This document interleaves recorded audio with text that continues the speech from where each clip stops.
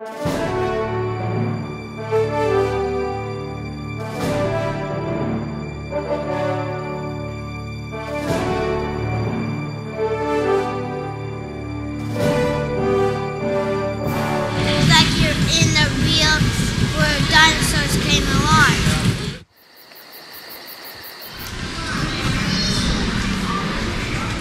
know as people in this business that uh, people learn through doing, and uh, since we don't have any actual dinosaurs out there to go and, and interview, this is pretty much the closest that it gets.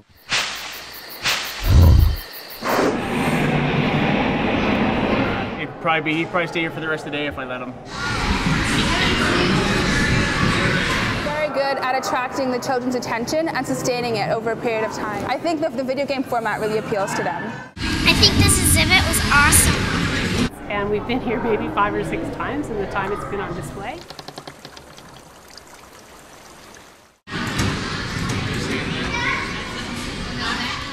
I think it's uh, great. You know, it's something that um, I think uh, you can keep coming back to. Well, there was like little mo- circles like that, like that one on there. That, that, that shows you what the food is. On top. See? The controls were pretty um, user friendly, um, pretty easy to, to kind of grasp, especially with kids. They're all looking at the dinosaurs, they're all talking about the dinosaurs, they're all thinking about what dinosaurs used to do, which is pretty great. I have a nephew that's nine, and he's really into dinosaurs. And this is something that I think he'll keep coming back to, like I said, because he'll, it's an ongoing experience.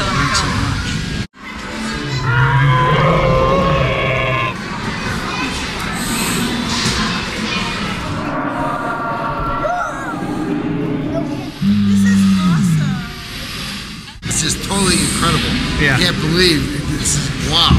I, I am really amazed. It's a really great way to, to get kids interested in learning and, and uh, in nature and science.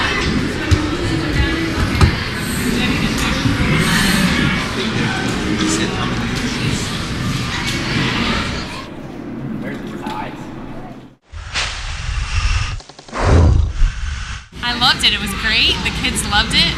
It's very interesting. It's addicting. I want to stay and play more.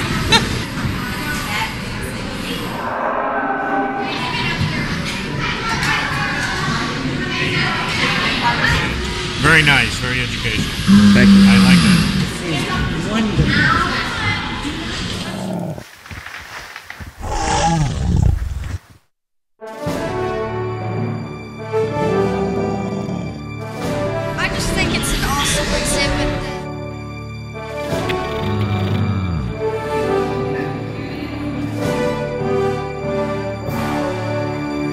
Yeah.